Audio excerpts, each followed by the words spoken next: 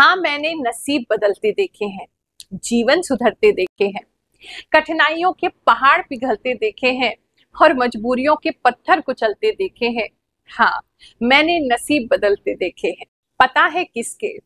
उन पागलों के जो किस्मत से लड़ जाते हैं, हार न मानने की जिद पर अड़ जाते हैं, जो नाकाम होने से चिढ़ जाते हैं, हर परेशानी से भिड़ जाते हैं। हाँ मैंने नसीब बदलते देखे हैं। हाँ मैंने नसीब बदलते देखे। जय शनिदेव, जय श्री कृष्णा मेरे प्यारे बच्चों, देखो, एक और नया महीना आ गया। सितंबर की आज हम बात करने वाले हैं एक से लेकर के तीस सितंबर तक क्या क्या आपके साथ होने वाला है। आजकल तो पता ही नहीं चलता, दिन कैसे गुजर जाते हैं, हफ़्ते कैसे गुजर जाते हैं और महीने कैसे गुजर जाते हैं। एक और नया महीना आ गया क्या क्या आपके लिए लेकर के आएगा, सारी बातें डिटेल में डिस्कस करेंगे। So let's get start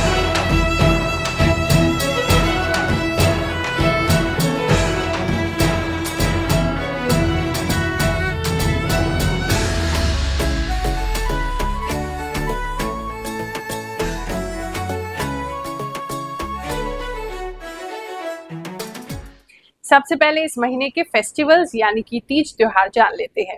her तालिका तीज जो है वो 6 सितंबर को मनाई जाएगी। गणेश चतुर्थी 7 सितंबर से लेकर के 17 सितंबर तक होगा। गणेश विसर्जन भी 17 सितंबर को किया जाएगा।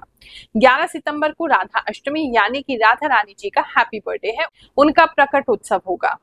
14 सितंबर को परिवर्तन एकादशी है। 15 सितंबर को वामन देव जी की जयंती है। 18 सितंबर को पितृपक्ष प्रारंभ होगा और 2 अक्टूबर तक चलेगा। सन पितृ अमावस्या जो है, वो भी 2 अक्टूबर को मनाई जाएगी। और 28 सितंबर को इंदिरा एकादशी है। एक नज़र ग्रहों के गोचर पे भी डाल लेते हैं। इस महीने कौन सा ग्रह किस राशि में प्रवेश करेगा और क्या हमारे लिए लेकर के आएगा, चलिए जानते हैं। सूर्य जो है वो 16 सितंबर को कन्या राशि में अपने मित्र राशि में प्रवेश करेंगे। चंद्रमा जो है वो सिंह राशि में प्रवेश करेंगे एक सितंबर को और अंत में भी अपनी ही राशि में गोचर करेंगे। मंगल जो है वो मिथुन राशि में रहेंगे। बुद्ध जो है चार सितंबर को सिंह राशि में प्रवेश कर जाएँगे। बृहस्पति जो है वृषभ राशि में बने रहेंगे। शुक्र जो है वो 18 सितंबर को तुला राशि अपनी राशि में प्रवेश करेंगे। और शनि कुंभ राशि में अभी वक्री चल रहे हैं। 15 नवंबर तक वक्री बने रहेंगे। राहु मीन राशि में और केतु कन्या राशि में बने रहेंगे। जो लोग हमारे चैनल ग्रहों की बात पर अभी अभी जुड़े हैं उन सबको बता देते हैं, ये जो राशिफल है, आपने अपनी राशि अनुसार देखना है, जो आपकी चंद्रमा के हिसाब से सटीक राशि है, उसके हिसाब से देखिए। साथ ही इसमें हम ग्रहों की गणना तो करते ही हैं जो इंट्यूटिव एस्ट्रोलॉजी है, यानी आभास शक्ति जो मुझे प्राप्त है, उससे भी मैं आपको ये बताती हूँ। इस राशिफल को देख रहे हैं तो कोई ना कोई मैसेज आपके लिए ज़रूर होगा। जो आपसे मेल खा रहा है, आपकी सिचुएशन के हिसाब से है, उसको लीजिए। बाकी किसी और के लिए मैसेज हो सकता है तो उस पर ध्यान मत दीजिएगा। वीडियो को छोड़ के अभी कहीं मत जाइएगा क्योंकि लास्ट में मैं आपको बताने वाली हूँ कि महा उपाय इस महीने में आपको क्या करना है। पितृपक्ष आ रहा है तो उसमें पितृ दोष अगर है पितृ आपको परेशान कर रहे हैं आपको ऐसा लगता है तो उन सभी के लिए उपाय बताऊँगी तो वीडियो में बने रहिए। वृषभ राशि वालों चलिए जानते हैं सेप्टेम्बर का महीना आपके लिए क्या लेकर के आएगा।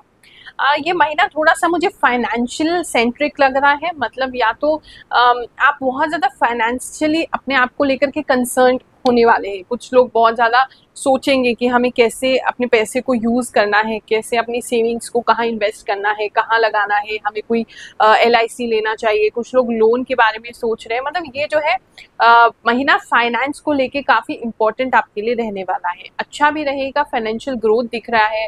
आ, कुछ लोग किसी तरह की सेविंग्स कर सकते हैं एफ़ करवा सकते हैं। कुछ लोग का पुराना पैसा आपने किसी जगह पे लगाया है वो आपको आ सकता है। कुछ लोगों को ज़मीन में उन्होंने कोई पैसा लगाया है वो बिक के उनको पैसा आ सकता है रेंट अगर नहीं आपकी प्रॉपर्टी चढ़ रही है तो रेंट आपको मिल जाएगा।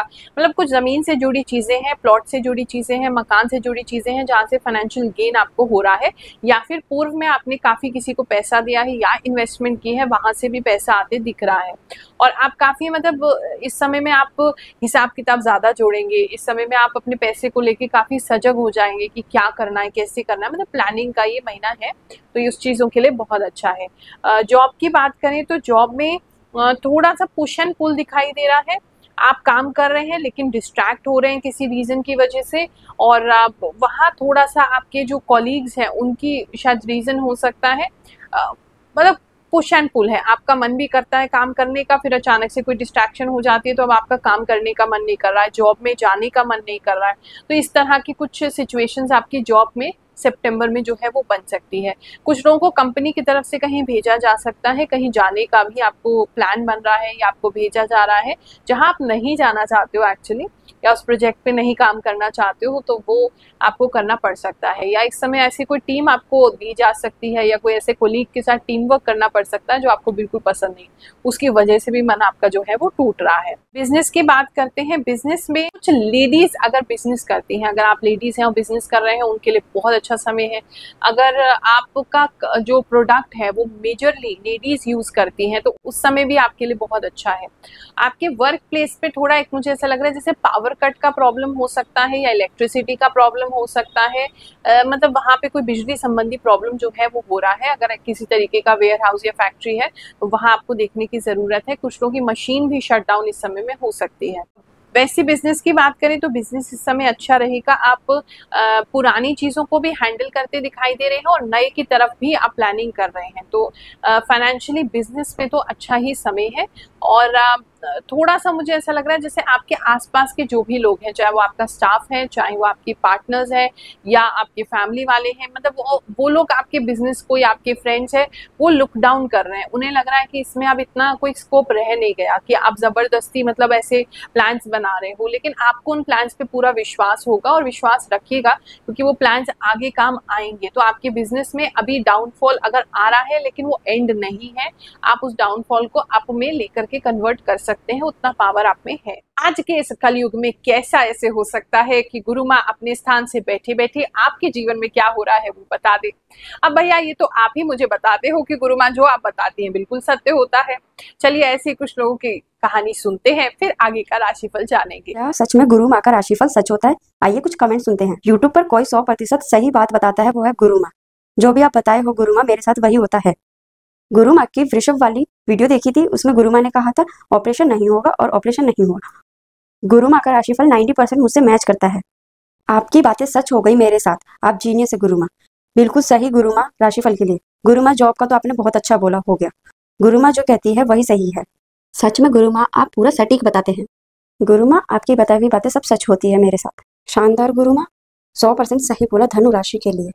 रिलेशनशिप की बात करें तो रिलेशनशिप में कुछ लोगों को जो है, अपने पार्टनर की हरकतों की वजह से थोड़ा सेटबैक लग सकता है, मन टूट सकता है, दिल टूट सकता है। आपके पार्टनर बहुत ज़्यादा जैसे दूसरों के साथ घूमते फिरते दिखाई दे रहे हैं। मतलब किसी और पार्टनर के साथ नहीं, दोस्तों के साथ या उनका एडवेंचर करने का बहुत मन है, उनका इस समय मन ऐसा रहेगा कि आप उनको बिल्कुल रोको टोको नहीं, उनको जब मन करेगा आपसे बात करेंगे, नहीं करेंगे, जब मन करेगा, आपको गोस्ट कर देंगे। अब तो मैं अनअवेलेबल हो जाएँगे तो उन चीज़ों से आपका मन काफ़ी टूट सकता है इस समय में। ये मुझे काफ़ी लोगों के लिए ऐसा दिख रहा है। फैमिली लाइफ की अगर हम बात करें तो फैमिली लाइफ में जो है थोड़ा सा अपने पार्टनर का ख्याल रखने की ज़रूरत है। कोई एक तीसरा पर्सन आपके शादी में डिस्टरबेंस क्रिएट कर सकता है। वो आपके स्पाउस को या आपके पार्टनर को स्टॉप कर रहे हैं, दूर से देख रहे हैं। आपके ही फ्रेंड हो सकते हैं, या आपके ही कोई नोन या आपके कोई रिलेटिव हो सकते हैं तो वो जो है, वो आपके पार्टनर पे थोड़ी नज़रें बनाए हुए हैं और दृष्टि उनकी अच्छी नहीं है तो वहाँ थोड़ा सा आपको ख्याल रखने की ज़रूरत है। चाहे मेल है फीमेल है, दोनों के ही पार्टनर्स की मैं बात कर रही हूँ। साथ में कुछ घरेलू झगड़ा भी आपका हो सकता है। ज़्यादा लंबा नहीं है, लेकिन थोड़ा सा घरेलू झगड़ा दिखाई दे रहा है, जहाँ आप वर्सेस बाकी के सारे लोग दिखाई दे रहे हैं। मतलब आपकी टीम पे उस समय कोई नहीं होगा और आप अकेले ही सब पे भारी होंगे। हेल्थ की बात कर लें तो हेल्थ में जो है आपको लोअर बॉडी में काफ़ी भारीपन लग सकता है इस समय में। कुछ लोगों को ऐसा लग सकता है पैर जाम हो गए, पैर नहीं चल रहे हैं बिल्कुल ऐसा, नीचे बिल्कुल थकान हो रही है लेथर्जिक हो रहे हैं, इस तरह की दिक्कत है। कुछ लोगों को नसों में भी प्रॉब्लम हो सकती है। कुछ लोगों को सुई चुभने की, अगर बहुत ज़्यादा आपका सिलाई वगैरह का काम है तो सुई चुभने की प्रॉब्लम दिखाई दे रही है। या वैसे ही अगर नसों में प्रॉब्लम है, या शुगर ज़्यादा रहता है तो शुगर हाई होके नसें आपकी ऐसी लग सकता है, चुभन जैसा कुछ हो रहा है। तो उस पर आपको ध्यान देने की ज़रूरत है। और थोड़ा सा खाना जो है, वो सही खाइए। आपके खाने में कुछ गिरता हुआ दिखाई दे रहा, कुछ मच्छर मक्खी या किसी तरीके का कुछ है, जिसकी वजह से आपका खाना जो है वो कंटेमिनेट हो सकता है तो खाने को देखभाल के इस समय में खाएँगे, अगर रखा हुआ खाना खा रहे हैं। एजुकेशन की बात करें तो भैया, एजुकेशन में तो आप सपने ही सपने देख रहे हैं, पढ़ना नहीं चाह रहे हैं इस समय में, आपको ऐसा लग रहा है, नहीं, हमें तो बहुत कॉन्फिडेंस है, हम तो बहुत ज़्यादा कर लेंगे। तो वो ओवर कॉन्फिडेंस की सिचुएशन आपके लिए दिख रही है मुझे, उससे ज़रा बचिए, आलस आ रहा है और बस बैठे बैठे सोच रहे हैं या लेटे लेटे सोच रहे हैं कि हम तो बहुत अच्छा कर रहे हैं और वो अच्छी प्रिपरेशन आपकी एग्जामिनेशन की, आपकी स्टडीज़ की नहीं हो रही है। चलिए अब बात करेंगे इस महीने के महा उपाय के लिए। पितृपक्ष जो है वो प्रारंभ हो रहा है, जैसे कि मैंने आपको बताया है। अब कुछ लोग ऐसे होते हैं जिनको ये पता चलता है कि हमारी कुंडली में पितृ दोष लगा हुआ है। किसी पंडित जी ने, किसी एस्ट्रोलॉजर ने आपको बताया कि पितृ जो है वो आपके नाराज़ हैं, आपके पितृ आपको परेशान कर रहे हैं। पहले तो ये बात समझना चाहिए कि पितृ आखिर कौन है? पितृ हमारे ही फोर फादर्स होते हैं, यानी कि हमारे पिताजी, उनके पिताजी उनके पिताजी उनके पिताजी, ये पितृ में काउंट होते हैं। या फिर किसी की अकाल मृत्यु अगर हो जाती है तो उसे भी हम पितृ कहते हैं। अब ऐसी स्थिति में आप खुद सोचिए, क्या आपके पिताजी या उनके पिताजी अपने ही वंश का सर्वनाश करने की बात सोच सकते हैं? क्या वो आपको कोई दोष दे सकते हैं? क्या वो आपको परेशान कर सकते हैं? ऐसा बिल्कुल भी संभव नहीं है। शरीर छूटा तो सारे जो दुख होते हैं, जो तकलीफें होती हैं, जो मन मुटाव होते हैं, सभी छूट जाते हैं। तो इसीलिए ऐसी चीज़ें संभव नहीं है। लेकिन फिर भी अगर कोई आपके घर में ऐसी मृत्यु हुई है जो बहुत ज़्यादा किसी के प्राण दुख के कारण गए हैं? मृत्यु के काल में उनको बहुत ज़्यादा कष्ट हुआ है। या उनकी ऐसी कोई बहुत प्रगाढ़ इच्छा थी, वो इच्छा पूरी नहीं हो पाई है। ऐसे में वो आत्माएँ अतृप्त होती हैं और किसी न किसी के माध्यम से हमें बताने का प्रयास करती हैं। तो आपने केवल उनकी जो इच्छा है या तो उसको पूरा करना है अगर वो नहीं कर सकते हैं या आपको पता ही नहीं है कि किन की इच्छा है और क्या इच्छा थी और क्या आपको पूरा करना है तो उस स्थिति में एक और उपाय मैं आपको बता रही आपके घर में जितने भी बेटे हैं, यानी कि जितने भी पुरुष हैं, जितने भी बेटे हैं उस खानदान के, उन्हें सभी ने थोड़ा थोड़ा पैसा मिलाना है। और अगर कोई स्त्री यानी कि कोई बेटी अनमैरिड है, अभी उसकी शादी नहीं हुई है और वो कमाती है तो उनको भी कुछ पैसा मिलाना चाहिए। सभी लोग मिला करके आप पितृ जो होते हैं, उनके शांति के लिए, उनके नाम से एक भंडारा आयोजन करिए, जहाँ गरीब लोगों को आप भोजन कराइए, भरपेट अच्छा भोजन कराइए। अगर उसमें आपको ये पता है कि आपके जो पित्र थे, उन लोगों को ये ये चीज़ें पसंद थी तो कोशिश कीजिए उन चीज़ों का ही दान करें, उन चीज़ों को ही आप भंडारे में शामिल करें। अच्छा सा भोजन कराना, जैसे किसी को पार्टी शादी कराते हो, ताकि जो भी खाए वो आपको दुआएँ दे। इस प्रकार से करेंगे तो आपके पित्र जहाँ भी होंगे, उनको ज़रूर ये बात पहुंचेगी, उन तक वो जो आप भाव है आपका, उन तक ज़रूर पहुंचेगा और वो आपको आशीर्वाद प्रदान करेंगे। दूसरा उपाय इसी में यही है, जैसे मैं आपको बता रही थी, अगर मान लीजिए कि आपका पता है कि ये इनकी मृत्यु जो है, इस कारण हुई थी या ये इच्छा वो पूरी नहीं कर पाए हैं, जैसे फॉर एग्ज़ाम्पल कई लोग ऐसे होते हैं जिन्होंने मन में संकल्प किया था कि हम अपने जीवन काल में कोई मंदिर बनवाएँगे, या देवी का मंदिर बनवाएँगे, या कोई स्थान बनाएँगे, या बोल रखा था, कोई मन्नत ले रखी थी, लेकिन वो उसको पूरा किए बगैर ही इस संसार से गुजर गए।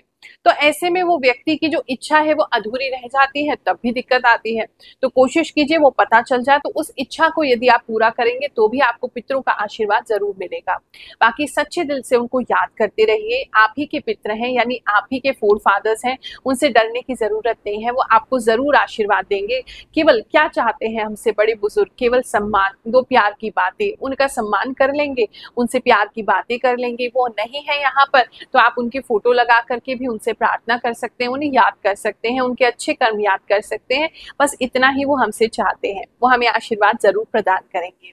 और जो लोग अपने वहाँ पर भंडारा आयोजित नहीं कर पा रहे हैं तो पितृपक्ष के ही उपलक्ष्य में 18 सितंबर को हम भी भंडारे का आयोजन जो है वो करेंगे। तो आप उस दिन उसमें आ सकते हैं या फिर सहयोग दे सकते हैं अगर आ नहीं सकते तो ताकि आपके नाम से और उनका नाम भी भेज सकते हैं जिनके लिए आप करना चाहते हैं। तो आपके नाम से या आपके पितरों के नाम से जो है गरीबों में भंडारा वितरित किया जाएगा। सितंबर का महीना आप सबके लिए बहुत सुखद जाए, बहुत अच्छा जाए। आप सभी को मैं बहुत ज़्यादा आशीर्वाद दे रही हूँ। जय शनिदेव, जय श्री कृष्णा।